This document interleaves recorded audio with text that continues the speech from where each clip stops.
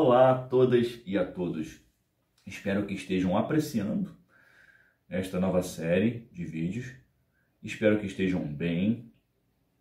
E gostaria de hoje abordar o segundo aspecto dos fundamentos de base. Trata-se das notas pedais, ou seja, as notas que estão abaixo da extensão do trompete. O trabalho dessas notas pode auxiliar em muito a consolidação da sua embocadura. E por incrível que pareça, estudar as notas pedais vai ajudar você a chegar nas notas agudas.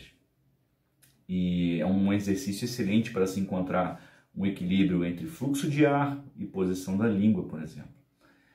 E existem muitas técnicas de se estudar as notas pedais. E em breve eu pretendo compartilhar como que eu penso essa questão das notas fora da extensão. Os autores mais canônicos, na minha humilde opinião, são James Stamp, Louis Maggio, James Thompson. E foram nesses autores que eu me espelhei para escrever os meus próprios exercícios que hoje integram a rotina de fundamentos básicos DPC. Então é isso, pessoal. Sobre fundamentos básicos, recapitulando, o primeiro aspecto foi o buzzing, esse segundo são as notas pedais. Espero que apreciem o próximo vídeo, que vai ser sobre notas longas e emissão. Obrigado a todos e até breve.